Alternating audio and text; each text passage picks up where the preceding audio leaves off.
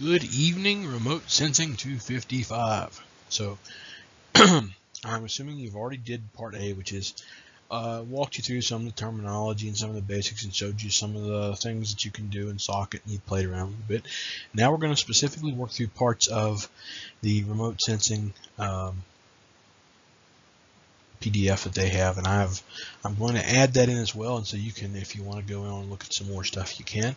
But we're just going to do uh, a few things here, and so this uh, little video is going to be your lab and some bonus lecture. Because I mean, come on, who doesn't want a bonus lecture, right? Yeah, cool. So a short outline. we're going to um, review a couple remote sensing topics, topics, electromagnetic spectrum, panchromatic, multispec, hyperspec, pan-sharpened, image processing, uh, specifically pre-processing. We'll talk a little bit about classification, and then we'll work through sort of some demos. And then at the end of the demos, you're going to do some stuff on your own. And once you've completed that, you'll take a screen grab of what I ask and submit that for your lab score for this week. And once you've done that, you are done for the week in this class. So when we talk about the electromagnetic spectrum, it's a range of electromagnetic radiation frequencies. So that spectrum is just, you know, all the different frequencies within that range uh, that we're looking at the sun's radiant radiation reflects off of objects between certain ranges, uh, and we consider those visible light, uh, 380 to 760, and it is something we can see with our naked eye. Objects and materials have different characteristics at different parts of the electromagnetic spectrum. Certain things absorb or reflect differently at different spectra. The goal of spectral sensors is to allow us, the viewers, to identify materials based on its characteristics of the response in terms of what gets reflected or what gets absorbed relative to a particular or group of electromagnetic spectrum, a group of frequencies along the electromagnetic spectrum. And the spectrometers that we use in a lot of these multispector, multispec and, hi and hyperspec sensors they detect a lot of radiation that's outside of the visible range. And so it actually makes it useful because we can get more information than what we can actually see. And that can be quite useful. And here is the electromagnetic spectrum if you've forgotten what it looks like. What is multispec? Well, when we talk about multispectrum, multispectral imageries or MSIs, uh, that's something that typically contains between 3 to 16 bands. Limited number, uh, still a lot of utility. Most satellite multispectral imagery contains at least four bands, uh, and that approximates red, green, blue, green, red, and near infrared. And then each pixel is a combination of these recorded wavelengths. The lower spatial, they have lower spatial resolution, but multiple bands are viewed together in different color combinations, and typically uh, four times lower than panchromatic. And so what is panchromatic? Panchromatic is a single band image that displays as shades of gray. Panchromatic band is a significantly wider bandwidth than an individual spectrum. And so it covers more of the electromagnetic spectrum. Because of this, you get a higher resolution. And then you have hyperspectral imageries. Um, there is no real exact standard on this. Basically, if it's got more than multi-spec, we usually consider it hyperspectral. There can be hundreds of bands in between just the UV and the long wave infrared. Um, it has a very reduced spatial resolution, resolution and unlike multi-spec, it, can, it collects continuously with no gaps in the collection. Uh, but a lot of these bands, um, they pick up a tremendous amount of noise. uh, because of atmospheric interference and other things, to the point that some of them really don't have any actual image information at all. Now, you'll hear people talk occasionally about something called pan sharpening. Pan sharpening combines the best qualities of panchromatic and multispectral imaging. It merges the high resolution of the panchromatic with the colors from the multispec. Now, if you're going to do spectral analysis, you should do this before you do pan sharpening. And so SOCET contains a bunch of algorithms to do this. Brovey, uh, there's a in, intensity hue saturation, intensity hue saturation near infrared, and then there's Ehlers fusion. These are just different means of doing uh, different algorithms for pan sharpening. Pan, chromatic, and multispec should have similar geometries, including the terrain.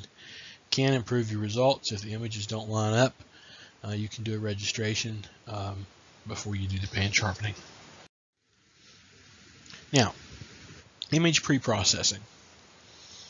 This is something that you will either do much or none of, typically. Um, a lot of times what we look for is finished product from USGS or places like that and other repositories. They're sort of like tier one products that have already been um, pre-processed to, to, get rid of a lot of the issues. But it's not impossible for you to learn how to do this on your own. When we talk about image processing, we're really talking about algorithms that are used to perform intermediate steps often necessary to clean up and calibrate spectral data before you do things like classifications. Uh, use the algorithms that they offer in here as a, uh, to create an output image and use the resulting image as the input for other algorithms is basically how this works. Um, some of the basic pre-processing algorithms they have is basic destripping. Now what happens is because of the way these sensors work, you get line features sometimes that show up because of the nature of the device. Basic destripping reduces the horizontal and vertical stripping that's caused by noise. Uh, you can also calibrate calibrate for reflectance. This transforms your radiance and reflectance values and um, that you often need if you're doing like material identification. It also allows you to use imagery from different sensors. There's the IARR, which is a noise removal one. Uh, it's really useful in barren areas of imagery as well as dark subtraction. It's a simple noise reduction. It finds the minimum value for each band and subtracts it out to create a sharper image. So instead of, um, if you don't have, for example, 256 different values in that particular frequency, it stretches from the minimum value you have up to the max so that um, you see more detail. Then there's atmospheric correction, which removes color shifts in the image caused by the atmosphere. We talk about classification, uh, we're talking about two kinds, unsupervised and supervised. Unsupervised classification is an algorithm used to analyze imagery by automatically grouping similar pixels. Ugh, sorry for the yawning. Unsupervised means that the algorithm runs without the user defining any signatures of interest. The results show colors representing classes such as water, vegetation, soil, etc. Number of classes is set in uh, the parameters when you do this. The more classes, the longer it takes to compute. Now, how does it do this? There's a bunch of different ones. Under unsupervised uh, classification algorithms, here's just a few that are out there. K-mean clustering, ISODATA, band ratio, NDVI, NDWI, tasseled cap, and GeoPalette. Um, there's all kinds of stuff. Uh, we'll utilize one or two of these today. Um, if you like, by all means, go back and try some of the others. Supervised classification algorithms are used to match in-scene pixels to existing spectral signatures. Uh, existing signatures obtained from another pixel in the scene or through a spectral library. Supervised means you click pixels defined in the scene, and the algorithm is then put in place to identify similar pixels. Algorithms take into account every band in the image. Supervised classification uses the find in scene window as an interface. Um, algorithm selected as method dropdown menu or the spectral algorithm dropdown. It allows users to select pixels within a scene and change the name and color and adjust the threshold dynamically. Alright, so that was a 10 minute sort of walkover and next we're going to work on a demo. Now it is imperative that you do this the way I'm asking. I want you to read what's on the screen and then watch as it changes until we go to a new slide. Then pause the video and do what you just saw on your computer. So you're going to read about it, watch it, and then do it. Some basic instructions. So whatever I tell you here on this video supersedes whatever you read in the PDF uh, from SOCET. And here's why. We're not going to be using the same data sets that SOCET GXP used to develop this um, demonstration software uh, packet, this uh, PDF that we're doing these exercises from. We're going to be using a different data source. And so nobody's files are going to be the same. Not mine, not yours, and it's certainly not going to be the same as the ones in the PDF. Um, I'll set you up with the data that you need, and you can use it. Now, it's imperative that you follow along. Don't be afraid to try something. That's the worst thing that happens is something goes nuts. And here's a good thing to remember. SOCET has a super undo button. Uh, you can um, if you don't change the settings, I think the default is unlimited. And so you can just click the undo button and undo the last thing you did back until you did back to get to the point where you haven't done anything. So don't be afraid to, you know, try something. The worst thing that could possibly happen is you have to start over with this particular exercise. Nothing that we do here is really built upon uh, something that we make earlier. And so you could do part of this and stop and come back and pick up that spot and move forward and you shouldn't have any problems. Also, the software is running on a server on Citrix and so you're going to have to use Citrix to get into this.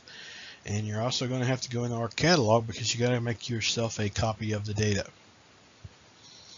If everyone tries to use the data that I put in the folder uh, for you to work from, for you to copy rather, everybody uses that to work from, uh, we will have significant file lock issues and uh, there'll be problems with the software running. So, we're going to use our catalog, we're going to use SOCET, and obviously uh, some folders in the student folder section of the L drive. So if you're not too familiar, or if you've forgotten, this address at the top is the address for the Citrix server for off-campus stuff. And if you're thinking, oh, this doesn't work, I live too far away, I made this from a 100 miles away from campus in a thunderstorm after a root canal. If you want sympathy, uh, look between that word that starts with an S that means feces and that horrible, debilitating venereal disease that starts with an S, syphilis. Somewhere in between there, you'll find the word sympathy. And that's where you're going to find it because Citrix can be a pain, but if you're patient, it usually doesn't do bad. As by the fact that I made this in a thunderstorm from 100 miles away. So your next step, you're going to open up Catalog you're going to copy uh, a folder of data called Tooth Fairy, which seemed um, reasonable for today since I had the root canal. And that's why we're doing a remote class today. And you're going to copy it and paste, not past it, you're going to paste it in your student folder in Citrix so that you have a copy of the Tooth Fairy folder. Do not use the one that's already there to work from. That's mine. Only one person can use them at a time. All right. If you start looking at this and say, wow, this looks familiar. Yes, this data is some of the data that you've already used with some other softwares in class. Um, and I put more data in there than what we need because I want you to have the option. If you want to try some of the other things that's in the PDF that I haven't covered yet, you can go right ahead. Now, there's some other stuff like anomaly detection and change detection in there that we're going to go over next week. So there's no point in doing that. But anything up to the point of the last step uh, involving any of the classification procedures that I skipped or didn't do, by all means, you're welcome uh, to, to try to bring in some data and see if you can work through and understand how to operate the software. So at this point, uh, we're going to basically start just going slide to slide and I'm going to show you screenshots of what I did and try to explain it. And the next three slides basically just cover what I've mentioned here above. So if you're ready, go ahead and open up your Citrix, get catalog open, get SOCET open, and get ready. So as you can see, there's the GIS uh, Citrix address. Um, oh, look, I've got three, it looks like uh, notifications on LinkedIn. That's cool. Um, what I really want you to do, though, is go down here uh, and open up Catalog and also go down and open up SOCET. This is SOCET. When you open up SOCET, you're going to get this workspace manager multiple panes. We already talked about this in the previous video. You're going to um, add in some data by going up here to the top um, left of the image, right beside the word file and edit and all those.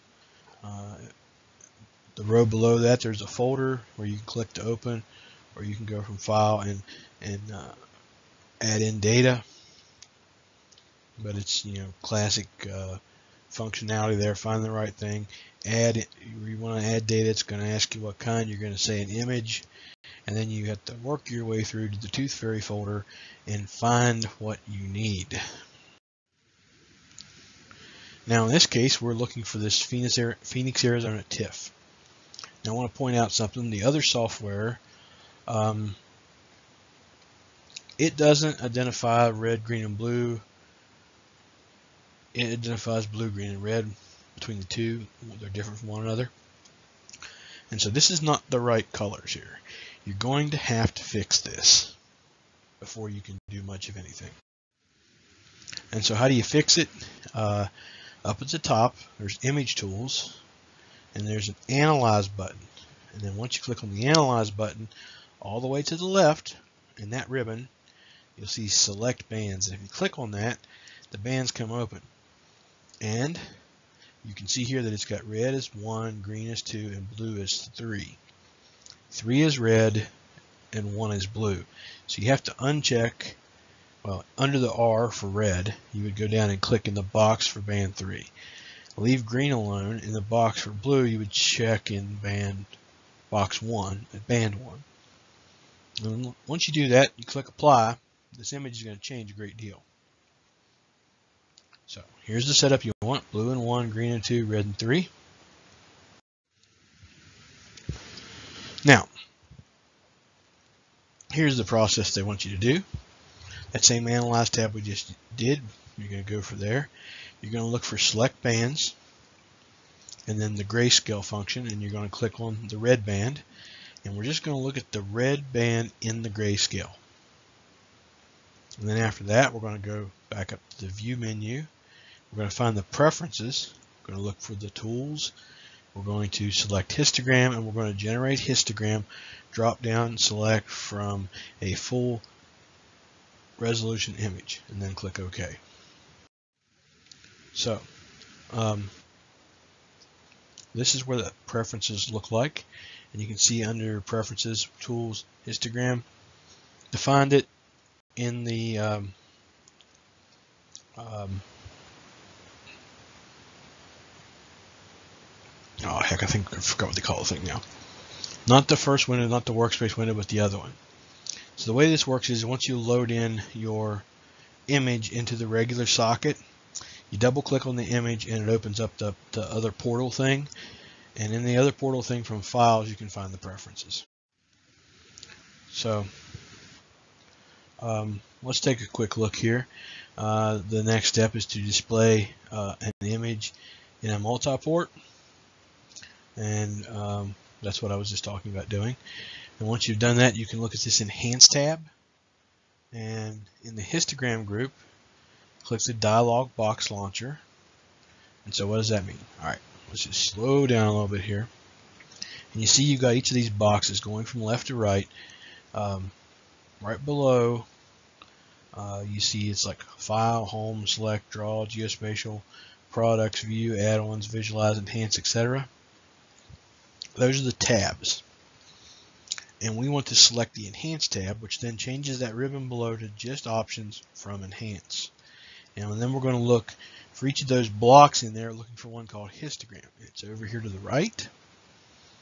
Now, you can click on anything in there you want, but if you're not sure, that little droppy, boxy, pointy thing down there in the bottom right hand corner of the histogram box, that'll open up um, the histogram window. Now I've put a bigger picture of the ribbon up there and there's a red box around that so that you can see exactly what we're looking at.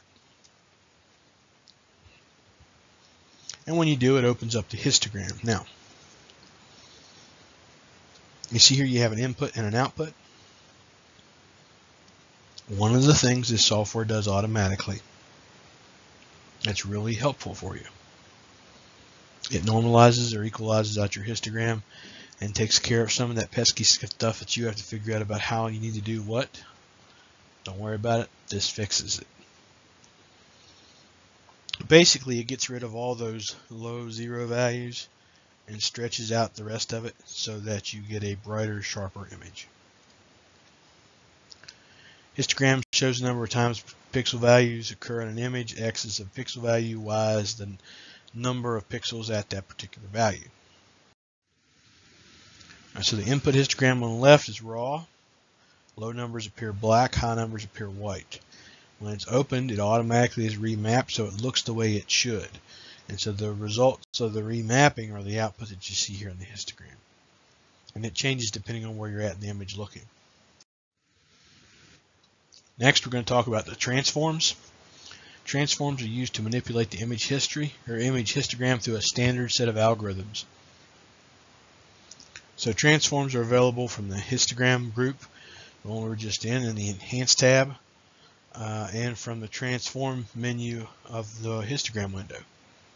And so if you click on that transform button up there, this is what pops down below, and you can see the different ones. Linear, linear max min, normalization, etc. So we're going to go back to that Enhance tab. We're going to go over to the Transforms drop down and then we're going to select normalize. And this fits the histogram to a normal bell-shaped curve. This basically makes darker parts of the image brighter and takes the really bright spots and darkens them up a little bit so that it just kind of equalizes those things out. Once you get a look and see what it looks like, then you can close up your multi-port. So next we're going to look at multispectral imagery and displaying it. The traditional four-band uh, multi-spec is blue, green, and red uh, with near infrared. And you can take any of those four bands and assign to any one of those three channels you like. When we look at true colors, that's red, green, and blue. When we look at false color, we substitute near infrared in place of red. And so when you do this, it allows you to spot different things like uh, different types of vegetation or how healthy vegetation may or may not be. And so here's what I'm talking about. One on the left is true color, the one on the right is false color. So how do you display it? In Multiport, from the Analyze tab, you go to Bands, click Select. Once it pops open, you simply change the red, which we had the red channel in band 3. Just move it down to red 4, and what you will be looking at will go from a true color to a false color infrared. And then once you look at this, you can close down your multiport. And you see what it does. The areas with certain types of vegetation or certain uh, vegetation in certain conditions. So maybe some vegetation is dying because of drought, other is watered, or maybe it's just different types of vegetation. Anyway, um, you get very different looking reds. Spectral masks are something that, that they use as well. Uh, basically, the bands on either end of the spectrum sometimes can get noisy, and so uh, this is used probably more in the hyperspectral, where it kind of gets rid of a lot of the junk so that you can figure out what is actually useful. This has potential for a lot of things. Um, the threshold lookup table allows users to map pixels of certain values or ranges to other various colors. Uh, and so um, the threshold changes the pixels. The threshold lookup changes the pixels of an image according to a percentage. And so, for example, if you display the near infrared band by itself um, in the multiport, and you go up and find your Enhance tab, and you look for the histogram, and you click that Apply LUT, Threshold LUT, um, it has a little slider that allows you to adjust that. If you crank that all the way up to 99, only the top 1% of the brightest pixels is what it's going to display. So if you're looking for really truly high values in the near infrared, this is how you can do it. So he was asking uh, in some other classes, some of you were like, um, if you have a particular band that maybe responds to the clay and you're trying to figure out uh, where in your landscape you have more clay, well, you know that that particular band is where clay is going to spike and you may not pick up anything else. Well, if you use something like this and you look for the, that bandwidth and you pick the top 1%, you're going to get the ones that have the highest values in the range where the clays spike. And maybe that's all you need to find it. Anyway, once you run this and look at it and see what it does, you can close the threshold values. And so here's what I'm talking about. I selected band 4, which is the um, near infrared band. And that is my image. I jacked my slider all the way over to 99. And when I did, I got this. And these are literally only the highest values in the near infrared. There's also lots of basic enhancements that are available inside the software. I just wanted to mention these. If you want to try and play around with them, you go right ahead. Image pre-processing. Let's talk about this idea of dark subtraction. Uh, from the spectral algorithms list, there's one called dark subtraction. If you click on that window, um, the window, leave defaults, and click apply. After viewing the results, close the results, and then right click by selecting close. Alright, long story short, here's what happens.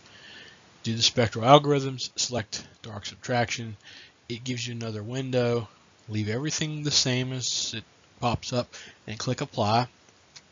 It's going to split your view, give you two images, and one is going to have the darkness removed. When you're done, you have split images, right click on the one you want to get rid of and just select close. So there's the bands. There is the images. The one on the right has had the dark spots removed. Now just looking at it, I don't know that I actually see so awful much there. But I'm sure at some level it made a significant change. Alright, so bands. Alright, there we go. Next, we're going to look at the unsupervised classification. Basically, these are algorithms that analyze imagery automatically. Unsupervised means it runs uh, without any signature input on your end. And it shows all different kinds of classes of stuff. Uh, the number of classes is set in the parameter box. The more you add, the longer it takes to calculate. Different means, k-means, ISODATA, we've talked about those a little bit in class. Uh, you can look those up in the textbook um, if you're really interested. Band ratio, NDVI, NDWI, lots of different ones. So let's take a look at some of this. We're going to start off with a um, they're talking about using a band merge chip in the in the multi-port. We're just going to use the same thing we've been using. You just want to close up your multi-port, go back to your other window, double click on the image, open up a new multi-port with the same data, and then you're going to find the analysis tab, and you're going to go to spectral algorithms. You're going to select k-means clustering. Leave all the defaults the same.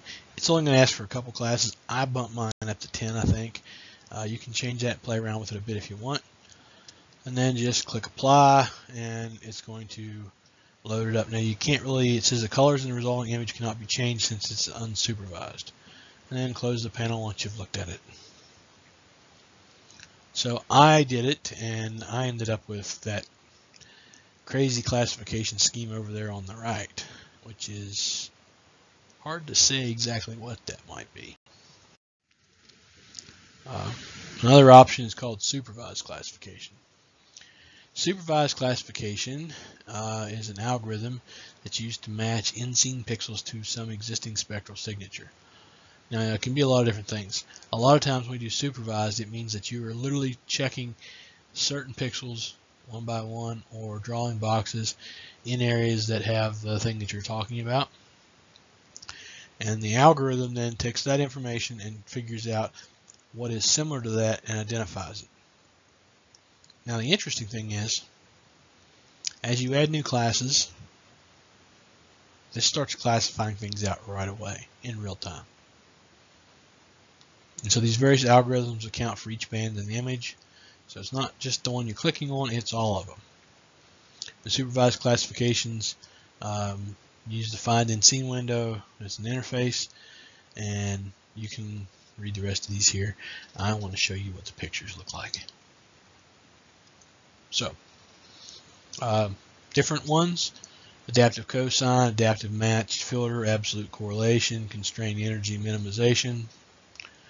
Uh, you can also do normal Euclidean, spectral angle mapper, and all these other ones. I think we're going to do spectral angle, angle mapper here for a demonstration. And basically, uh, you're going to go in and find these particular areas and just draw a polygon inside and that's pretty much that. You can also use signatures from the spectral libraries, and some of those are quite remarkable. Uh, now, here's what I'm going to do. Here's what you're going to do. You're going to display the image uh, in a new multiport. Go into the Analyze tab. You're going to find Spectral Group, and then you're looking for Spectral Algorithms. And then under Spectral Algorithms, you're going to select Spectral Angle Mapper. And then once you do that, you're going to click in the image to identify pixels or groups of pixels of interest. Now you've got two options. Uh, if you look over to the picture on the right, uh, right underneath the words File and View and Signature, there's like four buttons. two on the right allow you to click individual points or to draw polygons. All these are, are how you are selecting the things that you're selecting. Now, you have to come up with a name for every thing that you're classing. So I started out by just drawing some polygons in one cluster of trees and then identified a whole bunch of trees. I found an area where it was barren ground and I just called that dirt and it classified that. I found some houses and I lumped them into a polygon and it called that urban and I kind of stopped at that point just to see what I could get and now I'm going to show you what that really simple classification comes up with and this is not from doing you know 35 different boxes. This is one polygon in each of these topics. So I got one polygon in trees, one polygon in some dirt, one on some houses. And this is what I got. Actually, this is what they're uh, coming from the slides, showing you how you can adjust some of these thresholds. I couldn't get that threshold thing to work. Um, I think that's probably something that's been changed in the uh, last software update, or uh, there's something in our particular data set that doesn't allow us to do that. Spectral libraries. Let me get back to this for a second. Um, for example, if you have data from AVIRIS from 1996, there is a whole cluster of things that they've already identified a spectral frequency for that you can select and add and it will then look for that in your classification when it does it and identify it as such. So if you've got AVIRIS data, data that's really, really useful. All right, so we've sort of covered some of this. Maybe not as fast or as, as what you would, might want. I hope you've been following along and seeing what we're doing here. Uh, if you want more detailed explanations, you can always look at the actual PDF, which I will attach um, in the Canvas site, uh, probably actually before this gets loaded up. Here's what you're going to do. You're going to remove all the data that you have in your workspace, close down your multiport, get rid of everything. More or less open up a brand new SOCET. You're going to put in a new image. In the image I want, it's in your student folders, it's in the class folder, it'll be in your Tooth Fairy folder, not mine. It'll be in the anomaly detection folder. And there's this 5 May 1709 4255 MIBS blah blah blah whatever file it is here that's the one you want this is a nice multispectral image of someplace and what you're going to do next is uh, follow the next directions on these next couple pages and then save a screenshot of the supervised classification that you have at the end and the legend that you make for it because we're going to use the legend tool um, or I want you to learn how to use the legend tool and that's what you're going to upload for your lab uh, proof. Alright so let's see what we got. So this is your first part displaying your merged chip multiport don't pay any attention to that. That just means put in the image that I told you on the last screen. Analyze tab, spectral algorithms, k-mean clusters. Boom. You've just done an unsupervised classification. Then it says display, display an MSI image in the new multi blah blah blah. No. Remove the other thing that you just did from or get close the multiport you just had open. Double click on that image again in the other uh, window. Now you got a new multiport. Analyze spectral group, spectral algorithm, spectral angle mapper, and you're going to go through and come up with some classes. Now you're going to have to take a look at this picture, set it up in real color, and try to figure out what all might be there. Maybe it's rocks, maybe it's desert, maybe it's parking lots, maybe it's a construction site. I don't know. You figure out what you can see there, what you think's there, and then make the appropriate classes. Uh, don't worry so much about adjusting those thresholds. Um, just make it work and run it. Once you do that, you're going to use this display a legend showing the names and the colors of the results from the view menu by selecting legend. And then uh, you can adjust the properties of it as such. Once you get those properties of your legend of what is in the supervised classification of that second, that new image, that's what I want you to turn in. Screenshot of that. And then I'll see you next week. All right, so uh, just a quick reminder.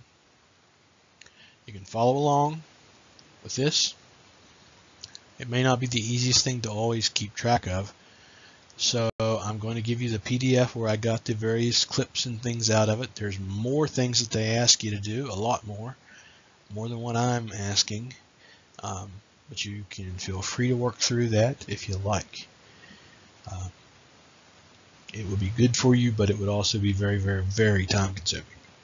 And I'm not uh, wanting to assign a giant pile of homework on you at this point in time because I want you to, if you're going to be doing remote sensing work, I want you to be doing remote sensing work towards your project at this point. All right, good luck. and I'll see you next week.